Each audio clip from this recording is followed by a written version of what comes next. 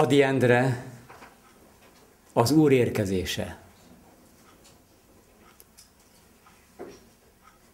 Mikor elhagytak, mikor a lelkem roskadozva vittem, csöndesen és váratlanul átölelt az Isten. Nem harsonával, hanem jött néma igaz öleléssel. Nem jött szép tüzes nappalon, de háborús éjjel. És megvakultak hiú szemeim, meghalt ifjúságom. De őt, a fényest, nagyszerűt, mindörökre látom.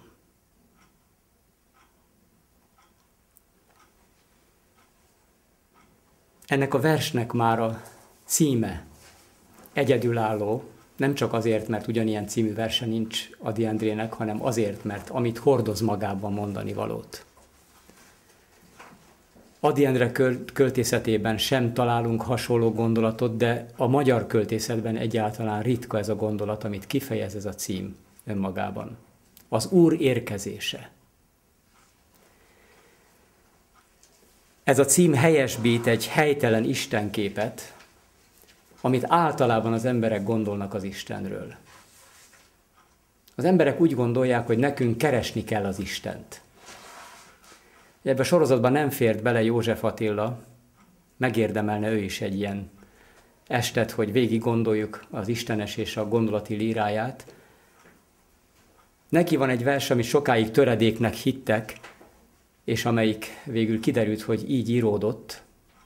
Az Isten itt állt a hátam mögött című vers, illetve hát első sora hangzik így. Az Isten itt állt a hátam mögött, és én megkerültem érte a világot. Négy kézláb másztam. Álló Istenem lenézett rám, és nem emelt föl engem. Ez a szabadság adta értenem, hogy lesz még erő lábra állni bennem. Nem mondom tovább a verset, a lényegét fejezi ki. Mi nagyon sokszor keressük az Istent, és nem jövünk rá, hogy az Isten ott van mellettünk, ott van mögöttünk. Kopogtat a szívünk ajtaján.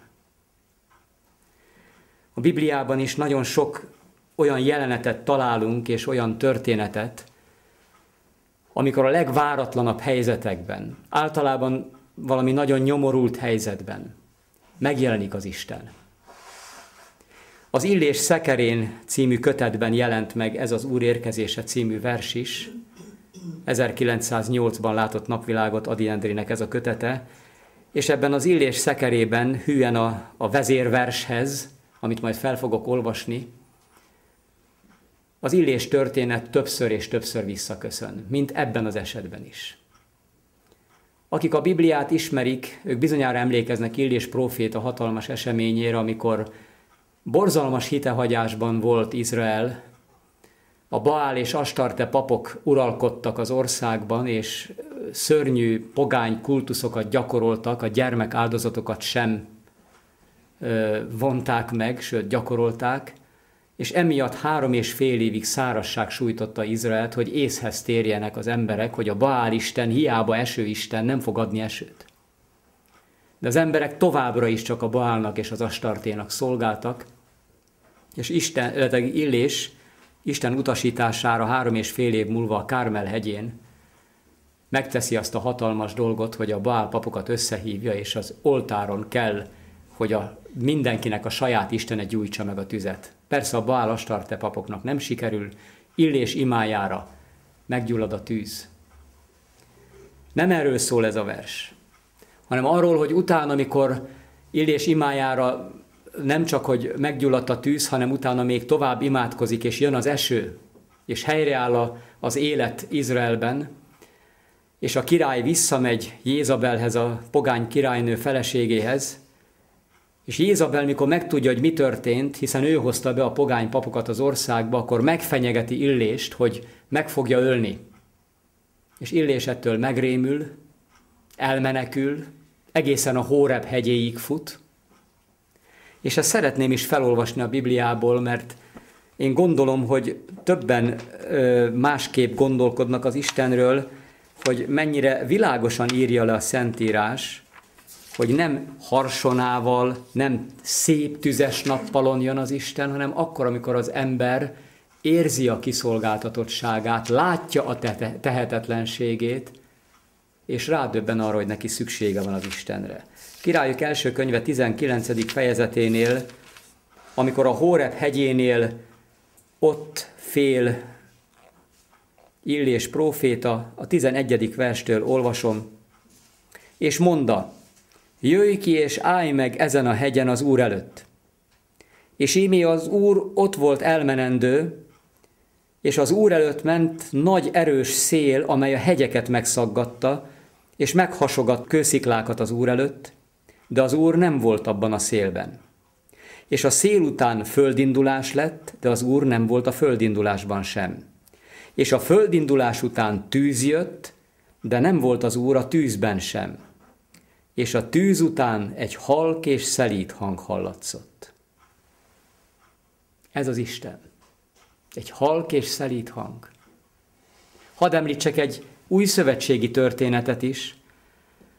Az utolsó vacsorán, amikor Jézus már egyértelművé tette, hogy valaki el fogja a tanítványok közül árulni Jézust, akkor fogadkoznak a tanítványok, de a leghangosabban természetesen a gyors észjárású Péter, és egyenesen úgy fogadkozik, hogy ha ezek mind elárulnak, én akkor sem.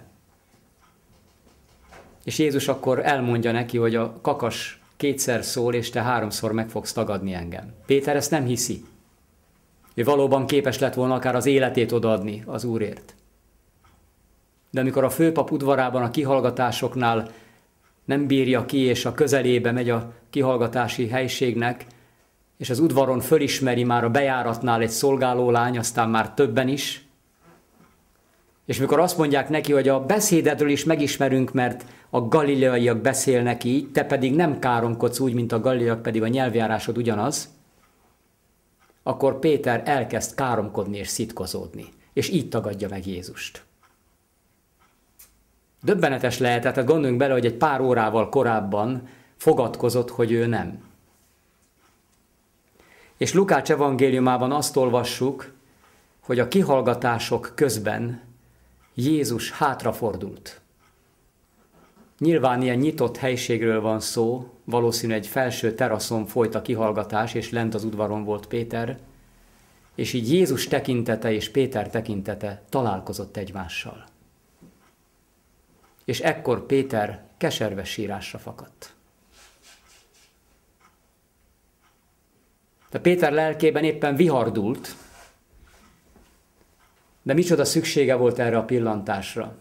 Ha ismerjük Jézus életét és a tanítványaihoz és minden emberhez való viszonyulását, akkor biztosak lehetünk, hogy ebben a pillantásban, amit Péterre vetett, nem volt szemrehányás, nem volt kárhoztatás, de mélységes együttérzés és szánalom. Az igen. Péter keserves sírásra fakadt, és Péterhez elérkezett az Úr.